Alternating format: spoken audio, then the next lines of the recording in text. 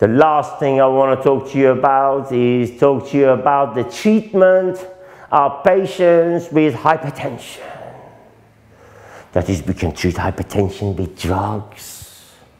And we do treat hypertension with drugs. And billions of pounds later, and millions of happy, healthy customers later, we can safely say that drug treatment, when it comes to hypertension, is extremely successful and effective. Having said that, we don't treat everyone with drugs. I mean, you don't treat a gentleman of 86 with a blood pressure of 180 over 110, even though he's theoretically hypertensive. Because you have good sense, good common sense, which will tell you that it is the normal process of getting old, the normal part of aging, that your blood pressure goes up a little. Because you have atherosclerosis, and therefore the resistance to blood flow is going to increase. So the heart has to increase its perfusion pressure and it goes up and up. And you know these drugs are not like sweeties. They have side effects, serious side effects, and therefore they're not well worth doing.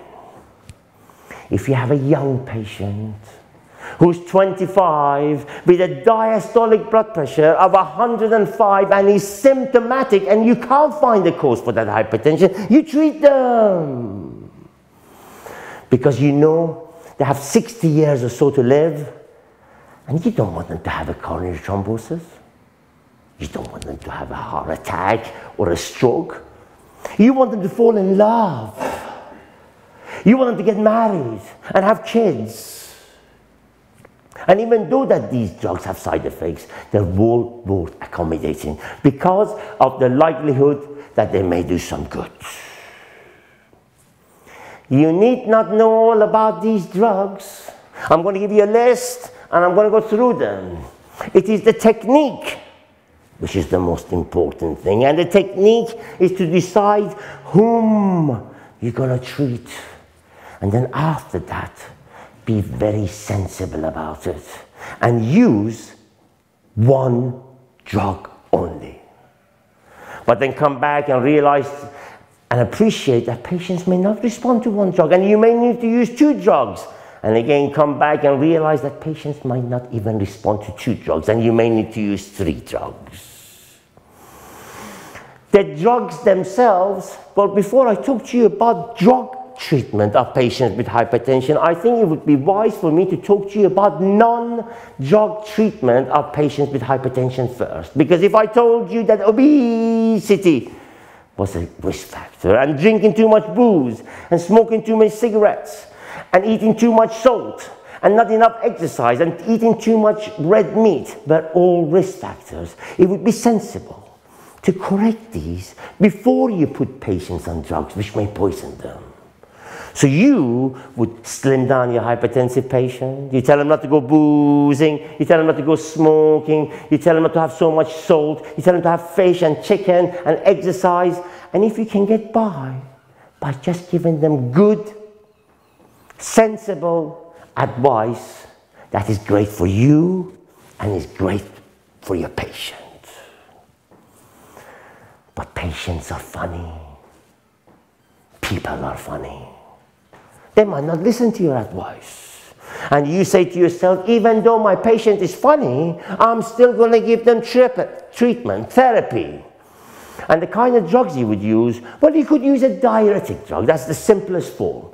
You recall I talked to you about diuretics when I was talking to you about treatment of patients with heart failure, and I told you that the sheet anchor of therapy in patients with heart failure was the use of diuretic drugs, drugs that make you pass more sodium and therefore more water. So you get rid of the edema, you get rid of the congestion, the venous fluid drops, and fluid in the body cavities disappears, and the heart can resume her activities in normality. And drugs such as chlorothiazide by oral agents were extremely effective.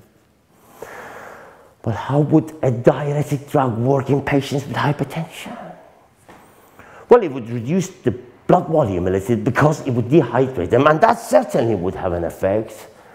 But diuretics do more than that. They stabilize small blood vessels and prevent them from going into further spasm. So they have an effect other than volume depletion and they're given on their own and they are very effective on their own.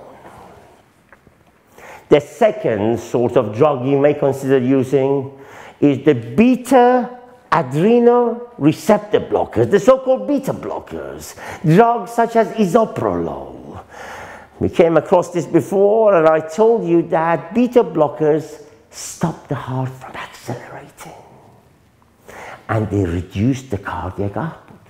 Blood pressure, as you very well know, is a combination of cardiac output and peripheral resistance and therefore if you can lower the cardiac output, you will lower the blood pressure. The third group of drugs that you may consider using are the vasodilators. We came across this before and I told you drugs such as nifedipine, calcium channel blockers are very effective.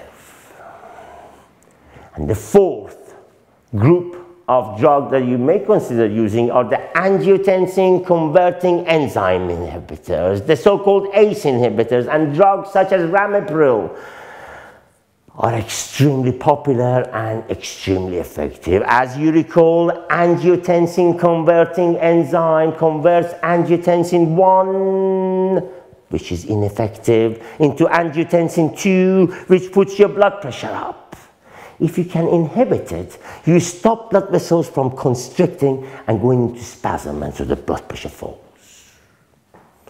So there are four groups of drugs that you can, can consider using, starting with the simplest, the diuretic and the chlorothiazide, and ending up with the most complicated, the angiotensin converting enzyme inhibitors, and the ramipril. The idea is that you use a very simple approach and see if you can get by by just using one drug and then coming back and realizing that patients may not respond to one drug and you may need to use two drugs and on occasion three drugs. Realizing that these drugs have side effects. Some of them have serious side effects and I'll come back to you and explain them to you. And finally, realizing that if you give patients two or three drugs to be taken two or three times a day on top of what they're already taking for their other illnesses, they might not take them. So there's always going to be a question with what we call compliance. Thank you very much for listening and I hope it's been helpful.